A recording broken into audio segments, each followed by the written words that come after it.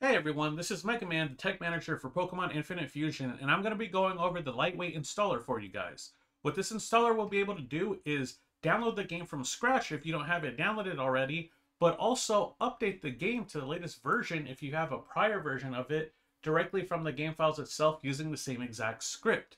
Now, if you're not part of the Discord, I definitely recommend you do because it'll have the most up-to-date information, but I'm also going to provide all this information in the description down below um, in case you don't want to join the Discord, which is understandable as well. But if you're on the Discord, go ahead and go to the downloads channel and you'll see the zip here. Go ahead and click on it and hit continue to download and it'll download the zip for you. Also in the Discord, if you scroll down, you'll see this message here from myself and it'll have a written guide as well in case you want to just go through the written guide without having to go through the video. Um, some people provide it to be faster for some reason, uh, but this no worries. Anyway, it'll also have the link for the game and the download, and this is what I'm going to put in the description for you to use to be able to download the game if you're not on Discord. Um, this will be a MediaFire download. It'll take you to MediaFire. Go ahead and click download, and it's going to download the game for you as well. Now, anytime you download anything from the internet, it's going to go into your File Explorer. So go down here to File Explorer and go to your downloads folder here on the left side.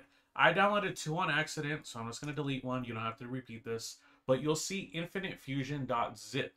If you do not see the .zip, it's because your computer has this option disabled. So what you have to do is, let me disable it first. So right here, it'll say Infinite Fusion versus infinitefusion.zip. Now, if you go to your File Explorer and hit View, then go to Show, then hit File Name Extensions, it'll show the .zip portion that I'm talking about. So the next step is you need to right-click this, just right click it. Don't left click. Don't double click. Right click it and hit extract all. You do not need to use WinRAR or 7-zip. This is a very small zip. And then from there, hit extract. From there, you'll get this file folder named Infinite Fusion. At this point, you do not need the zip anymore. So if you see the zip here, press delete on your keyboard and delete it. You do not need it anymore. So now with the Infinite Fusion folder, what you want to do is you want to double click it and you'll see these two items. Double click on installer update.bat. And this is the script that'll actually do the updating or the installation for the game. If you get a Windows pop-up saying it's suspicious or asking you, you know, what do you want to do with it, click more info and then click run anyway. This script is something that we created ourselves. It's not like a verified app, so that's why Windows is suspicious about it.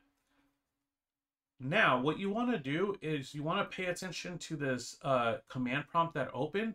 And I note this down in the manual guide that I showed you earlier. If you scroll down, this red underlined text is exactly what we want to see from that command prompt.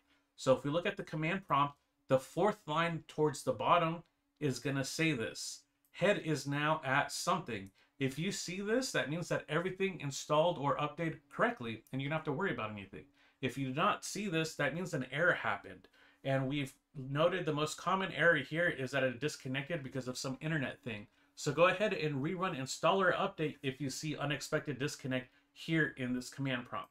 But if you don't see that, that means that everything ran smoothly. So if you go back to File Explorer, you'll see all of the files here. And that's exactly what we want to see. To open up the game, it is game.exe that you want to double click. But if you want a shortcut or pin this to have an easy access way to open up the game, what you have to do is right click, go to show more options, and then from here you can either create a shortcut, which you can then drag that to your desktop, or pin a taskbar, which I have it here pinned to my taskbar, so it's very easy for me to find the game.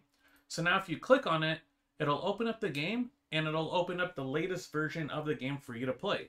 So once you see this intro, go ahead and hit enter and you'll get the intro screen, which will show you the latest version of it on the top right here. And that's pretty much it. If you do want to know where your save files are, back in your game folder, there is a shortcut here named save file. Just to be clear, this does not mean that your saves are stored in your game folder. You can delete your game folder and still have your saves. This is a shortcut that if you double click will take you to a different part of your computer where your saves are stored. So this is where your save files are, and this is where you can import saves if you have one for Mac or, or Android or something that you want to put on your PC. But yeah, that's pretty much it, guys. I'll talk to you in the next one.